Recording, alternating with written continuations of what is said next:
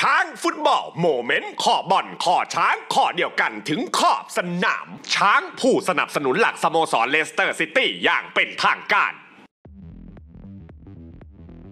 ขอบสนาม top 10 วันนี้ขอเสนอตอน 10 ซุปตาร์ที่ดูแลโดยน้าเมนเดสอาจมีคำหยาบที่ท่านฟังและระคายหูกระผมขอยกมือไหว้ขออภัยท่านมาณที่นี้ด้วย หากดูและชอบถ้าชอบใจปุ่มไลค์ปุ่มแชร์อยู่ใกล้ๆอย่าลืมกดให้ขอบสนามหน่อยเด้อ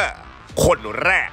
โดเฮอร์ตี้ จากทอตแนมฮอตสเปอร์ ประเดิมคนแรกด้วยฟูลแบ็กที่มี story กับจอร์จเมนเดสและตลาดนักเตะการย้ายมารวมทัพสเปอร์ที่น่าสนใจมากครับด้วยความที่โดเฮอร์ตี้ใช้บริการของเอเย่นต์รายนี้ และตัวเขาครับก็เป็นฟูลแบ็กไอริชเพียงคนเดียวใน list รายชื่อทั้งหมดของซูเปอร์เอเย่นต์ผู้นี้ย้อนกลับไปช่วงที่โดเฮอร์ตี้ยังคงเล่นอยู่กับวูฟแฮมตันที่มีนูโนเอสเปริโตซานโตนั่งแท่นเป็นกุนซือด้วยความสนิทสนมกับเมนเดสครับทำให้เมนเดสเข้าไปสอบถามกับนายใหญ่ผู้นี้ว่าต้องการปล่อยฟูลแบ็กคนนี้เพราะว่ามูรินโญ่กุนซือสเปอร์ณขณะนั้นต้องการตัวไปร่วมทีมซึ่งในความสัมพันธ์ที่ยอดเยี่ยมกับทุกฝ่ายของเมนเดสทำให้ดีลดังกล่าวเกิดขึ้นโดยที่โดเฮอร์ตี้ได้ย้ายไปสู่ทีมใหญ่กว่าด้วยค่าตัวเพียง 16 ล้านยูโร ซึ่งนี่แหละครับเป็น connection ที่เอเย่นต์คนนี้ทำให้มีการเจรจาทุกอย่างมันง่ายขึ้นกว่าเดิมเป็นหลายเท่าตัว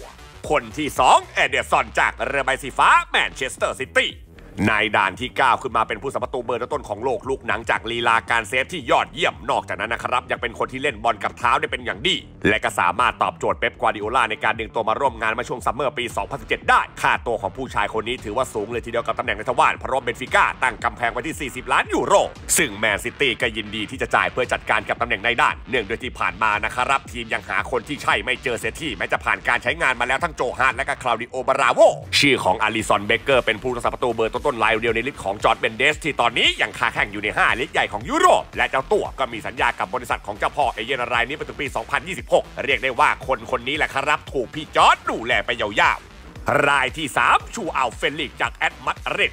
อีกหนึ่งลูกค้าที่ทำเงินและก็สามารถต่อยอดได้อย่างแน่นอนในอนาคตอันใกล้ด้วยเพียงอายุที่ 23 ปี บวกกับฝีเท้าที่ได้รับการยอมรับชื่อของเฟลิกซ์นะครับยังคงได้รับความสนใจจากตลาดนักเตะอย่างต่อเนื่อง ซึ่งจากกระแสข่าวล่าสุดที่เกิดขึ้นนะครับคือดาวเตะผู้นี้มีสิทธิ์ย้ายออกจากแอตมาดริดไม่น้อยเพราะด้วยโอกาสลงสนามบวกกับปัญหาที่เกิดขึ้นกับตัวกุนซือนี่อาจจะเป็นอีกครั้งที่เราได้เห็นเฟลิกซ์โยกย้ายต้นสังกัดกันอีกรอบ จากดาวรุ่งที่โชว์ผลงานได้อย่างยอดเยี่ยมกับเบนฟิก้าพร้อมผลงานมากมายก่อนย้ายมาร่วมทัพตราหมีด้วยมูลค่าที่มากมายถึง27 ล้านยูโร อนาคตต่อจากนี้ของเฟลิกซ์จึงน่าสนใจพอสมควรครับว่าจะออกมาในทิศทางใด และการมีเมนเดสดูแลนะครับ มันก็สามารถเชื่อใจได้เลยว่าแข้งรายนี้จะได้รับสิ่งที่ดีสุดในการเดินทางครั้งต่อไปอย่างแน่นอนครับ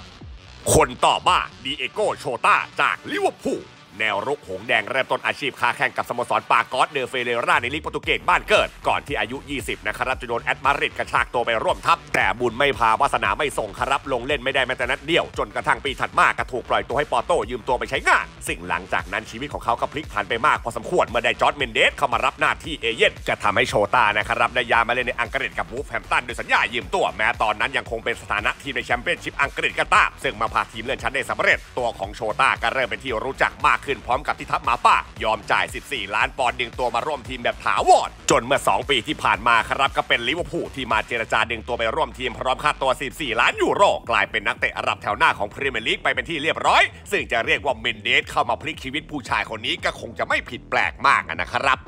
คนที่ 5 ฟาบินโยจากลิเวอร์พูล อีกหนึ่งแข้งจากค่ายหงแดงที่ใช้บริการของจอร์จเมนเดสในการดูแลสิทธิประโยชน์ต่างๆ ในชีวิตลูกหนัง ก่อนได้โยกย้ายมาเป็นกำลังสำคัญของลิเวอร์พูลเมื่อช่วงซัมเมอร์ปี 2018 โดยถ้าหากย้อนกลับไปช่วงดังกล่าวครับฟาบินโยมีข่าวกับหลายสโมสรทั่วยุโรป ซึ่งหนึ่งในนั้นก็คือแมนยูที่ต้องการดึงอดีตกองกลางโมนาโกรายนี้มาร่วมทัพ แต่ทว่าท้ายสุดครับก็เป็นหงแดงที่ควักเม็ดเงิน 45 ล้านยูโรเพื่อปิดดีลคว้าตัวมาเสริมแกร่งแม้ว่าช่วงแรกต้องใช้เวลาปรับตัวอยู่นานแสนนานแต่พอทุกอย่างเข้าที่มันก็เริ่มลงตัวมากขึ้นปัจจุบันครับฟาบินโยวัย 29 ปีมีสัญญากับทีมแอนฟิลด์ถึงปี 2026 ซึ่งจะพูดถึงการขยับสัญญาออกไปคงจะไม่เกิดขึ้นเร็วๆนี้อีกแน่ แต่ถ้าจะเกิดการเปลี่ยนแปลงรอดูได้เลยครับว่า action ของเมนเดสกับดีลหน้าจะเป็นเช่นไรคนที่ 6 ชูเอากันเซโลจากเรือใบสีฟ้าแมนซิตี้ อีกหนึ่งแข้งทีมชาติโปรตุเกสที่มอบหมายให้จอร์จเมนเดสเข้ามาดูแลเรื่องสิทธิประโยชน์ต่างๆ จนเกิดเป็นดีลที่สลับซับซ้อนและค่าตัวที่มากมายพอสมควร ชื่อของกันเซโลครับ เริ่มคุ้นหูแฟนบอลมากขึ้นตอนย้ายไปร่วมทัพยูเว่เมื่อปี 2018 ภายหลังทำผลงานกับบาเลนเซียได้อย่างยอดเยี่ยม ซึ่งดีลในวันนั้นทัพม้าลายต้องจ่ายค่าตัวของแข้งรายนี้ไปมากมายที่ 40 ล้านยูโร ลงสนามไปเพียง season เดียวแมนซิตี้ก็เข้ามาเจรจาก่อนปิดดีลแบบง่ายๆในมูลค่า 65 ล้าน ช่วงเวลาเพียงปีเดียวยูเว่ก็ฟันกำไรจากดีลกันเซโลไปถึง 25 ล้านยูโรแม้จะลงทุนไปแพงแต่ขายได้แบบกำไรแบบเน้นๆ ส่วนแมนซิตี้ก็ได้นักเตะคุณภาพ เล่นฟูลแบ็กได้ทั้งสองฝั่ง พร้อมกับพาทีมประสบความสำเร็จและก็ยกระดับเป็นแข้งระดับหัวแถวของวงการ ไปเป็นที่เรียบร้อยครับ คนที่ 8 รูเบนดิอาสจากแมนซิตี้ ปราการหลังอีกหนึ่งคนจากเรือใบสีฟ้าและทีมชาติโปรตุเกสก็เลือกใช้คนบ้านเดียวกันอย่างเมนเดสในการดูแลให้ และก็เป็นอีกคนที่ได้รับการผลักดันสู่สโมสรใหญ่อย่างทัพเรือใบสีฟ้าพร้อมค่าตอบแทนที่สมน้ำสมเนื้ออย่างมาก แน่นอนว่าเมนเดสอยู่เบื้องหลังดีลการย้ายตัวมาจากเบนฟิก้าซึ่งทางฝั่งเรือใบสีฟ้าจะเสียค่าตัวไปถึง 70 ล้าน แต่ก็แลกมากับปราการหลังที่สามารถใช้งานได้แบบยาวๆ เชื่อว่าวันนี้คงจะเป็นหนึ่งในลูกค้าที่เมนเดสอยากจะรั้งไว้ในสังกัดมากสุดเพราะในอนาคตในวัยเพียง 25 ปี นักฟุตบอลคนนี้ยังคงสร้างผลประโยชน์ได้อีกมากมายหรือถ้าเกิดการย้ายทีมเชื่อได้เลยว่าราคาคงไม่หนีห่างจากแมนซิตี้ดึงตัวมาเท่าไหร่นักล่ะครับ คนที่ 8 แบร์นาร์โดซิลวาจากเรือใบสีฟ้าแมนซิตี้ หนึ่งในซุปตาร์ที่ยกระดับตัวเองขึ้นมาได้อย่างยอดเยี่ยมในช่วง 2-3 ปีที่ผ่านมา และก็เป็นกำลังสำคัญของเรือใบสีฟ้าในการพาสำเร็จมาสู่ทีมหนึ่งในคนที่อยู่เบื้องหลังความสำเร็จก็ไม่ใช่ใครที่ไหนครับจอร์จ เมนเดสผู้พาแบร์นาร์โดซิลวาย้ายมาค้าแข้งในลีกใหญ่อย่างอังกฤษ และจากใน list รายชื่อที่เอเย่นต์คนนี้ดูแลอยู่ แข้งทีมชาติโปรตุเกสเป็นนักเตะที่มีค่าตัวประเมินสูงสุดที่มูลค่า 80 ล้านยูโรเลยทีเดียว สถานะปัจจุบันของแข้งวัย 28 ปีนะครับอาจจะไม่แน่นอนเท่าไหร่เพราะว่ามีข่าวเชื่อมโยงย้ายทีมอยู่ตลอด แต่อย่างไรก็ตามครับเชื่อว่าถ้าเกิดการย้ายทีมเกิดขึ้นด้วยฝีเท้าระดับแบร์นาร์โดซิลวาอย่างไรเสียเมนเดสคงหาสิ่งที่ดีที่สุด และข้อเสนอที่ยอดเยี่ยมให้กับหนึ่งในลูกค้าเบอร์ต้นๆของเขาอย่างแน่นอน คนที่ 9 มาเตอุส นูเนสจากวูล์ฟแฮมป์ตัน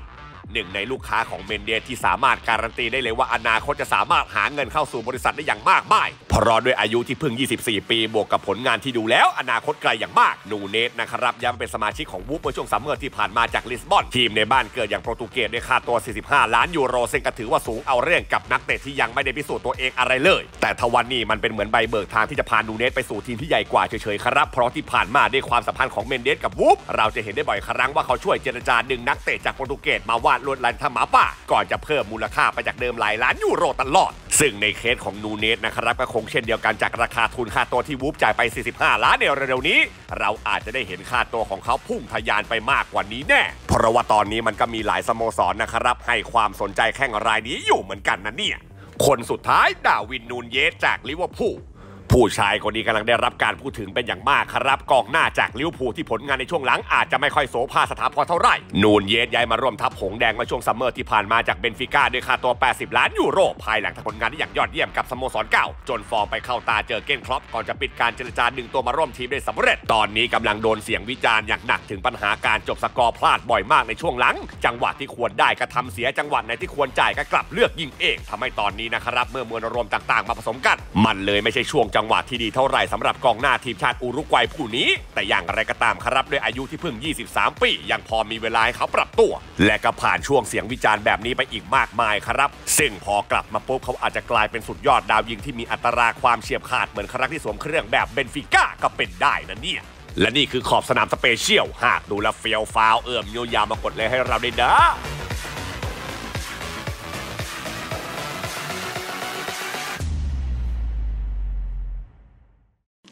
ฟุตบอล moment คอบอลคอช้างคอเดียวกันถึงขอบสนาม ช้างผู้สนับสนุนหลักสโมสรเลสเตอร์ซิตี้อย่างเป็นทางการ